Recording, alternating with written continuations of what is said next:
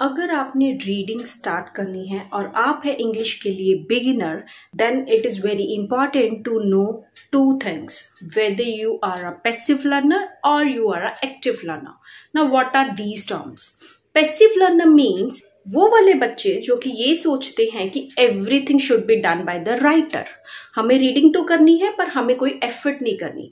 Writer जो है, वही हम, हमें सारे मीनिंग क्लियर करे, वही जो है डिफ़िकल्ट वर्ड हमारी वकैब्स इंप्रूव करे। राइटर ही जो है, वो सेंटेंस स्ट्रक्चर को ऐसा बनाए कि सब कुछ हमें इजीली समझ आ जाए, हमें कोई एफर्ट नहीं करनी।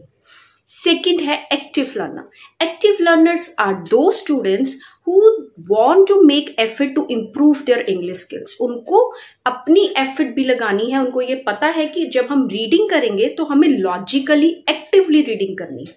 उन्होंने ये भी सोचना है कि उस आइडिया के पीछे क्या लॉजिक है और फिर जो अगर कोई वर्ड है जो उन्होंने उनको नहीं समझ आ रहा, उनको कैसे पिक करना है? So all these things are very important to improve your reading skills. Check out whether you are a passive learner or active learner.